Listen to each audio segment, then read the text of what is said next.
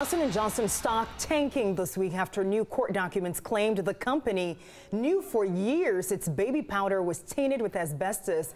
The company lost its motion yesterday to overturn a $4.7 billion verdict. But it's not just the money a local family is after in their own lawsuit. They told Caitlin Ross they lost a mother and a wife because of that baby powder. I want to make sure that you understand what your to-dos are for today. Number one, get all of this wretched cancer, this mesothelioma, out of my body. It is not welcome. Number two, don't let me die. Just hours before his wife Tara went in for surgery, Rich DeAugustinis wasn't surprised to find her writing a letter of encouragement to her surgeons. She was a very strong woman, a strong woman of faith, and loved fiercely. And she fought fiercely against a vicious disease. It took just 15 months for the mesothelioma to kill her. I don't want to see other people going through that agony. Mesothelioma is a cancer caused by asbestos exposure. Our belief is that she was exposed in the home as a child. Their family is suing Johnson & Johnson, alleging it knew the powder was tainted and did nothing to stop it. It was very simple for me.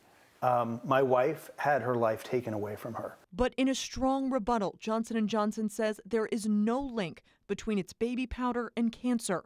The company says it never hid anything, and its products always have been and always will be safe. Rich says Tara's death proves differently. I'm trying to give voice to this cause.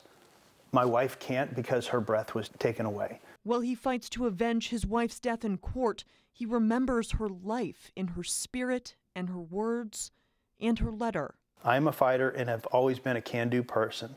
Attitude is everything, and I want you to have that same attitude as you complete my surgery today. I trust you and will see you once I wake up.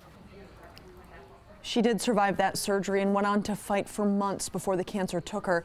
He says he wants to sue Johnson & Johnson to hold the people he thinks are responsible for his wife's death accountable. And this is such a heartbreaking story and so many families are going through a similar situation as well.